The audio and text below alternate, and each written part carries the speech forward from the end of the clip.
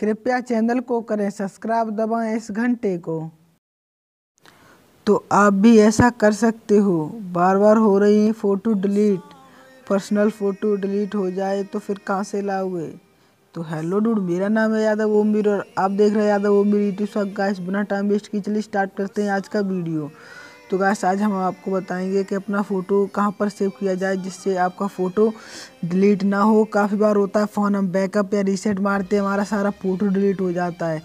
तो आपका फ़ोन भी कहीं गुम हो जाए तो फ़ोटो वोटो सारा चला जाएगा। तो आज के इस वीडियो में हम आपको बताएँगे कि अपना फ़ोटो कहाँ पर सेव करना चाहिए। सो बिना टाइम वेस्ट किए चलिए स्टार्ट करते हैं आज का वीडियो क्या आपको पता है कि गूगल की तरफ़ से हम सभी को पंद्रह जी दिया जाता है?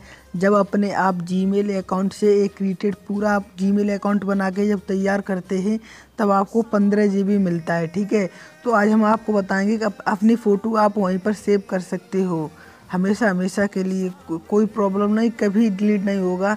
सिर्फ़ आपको अपना पासवर्ड मालूम होना चाहिए और जीमेल अकाउंट ठीक है? आप फ़ोन खो जाए, अब एमरजेंसी में आप कहीं भी किसी के जी में, किसी का भी फ़ोन लेके अपना फ़ोटो निकाल सकते हो।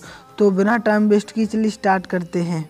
तो सिंपली आप अपना एक फ़ोटो खोल लीजिए, जिसे भी आप डालना चाहते हैं। तो मैं सिंपली अपना फ़ोटो ओपन कर ले रहा हूँ, जिसको मैं डालना चाहता हूँ। तो मैं इस फ़ोटो को डालना चाहता हूँ। ये, मैं चाहता हूँ ये फ़ोटो हमारी डिलीट ना हो। तो मैं इसको यहाँ पर सेव कर दूँगा, ठीक है? तो आपको सिंपली वही प्रोसेस करना है, जैसे आप किसी पर सेंड करते फ़ोटो तो वहीं पर सेंड करना है, ठीक है?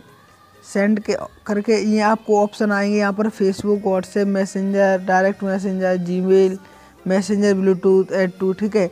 तो आपको थोड़ा और स्लिप करना है इधर, और जो आपको दिख रहा है ना सेव टू ड्राइव सिंपली पे एसएमएस के बाद जो दूसरे नंबर पर आपको दिख रही है सेव टू ड्राइव सिंपली से ओपन कर लेना है। तो इस फ़ोटो का नाम भी आप देख सकते हो, ठीक है? आप अगर फ़ोटो का नाम चेंज करना चाहते हो तो फ़ोटो का नाम भी चेंज कर सकते हो। कुछ भी डाल सकते हो, ठीक है? तो मैं कुछ भी डाल दे रहा हूँ। और इसको यहाँ पर सेव के ऑप्शन पर कर दे रहा हूँ, ठीक? अगर आपका पहले से ही लॉगिन है ड्राइव में, गूगल में तो आप पर नहीं मांगेगा। अगर नहीं है तो आप गूगल और अपना पासवर्ड डाल दीजिए, जीमेल और पासवर्ड, ओके? सिंपली सेव पर कर दीजिए।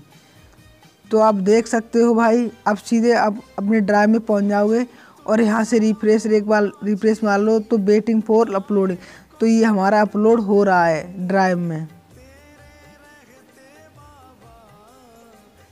तो देख सकते हो भाई, ये मेरा फ़ोटो आ चुका है यहाँ पर।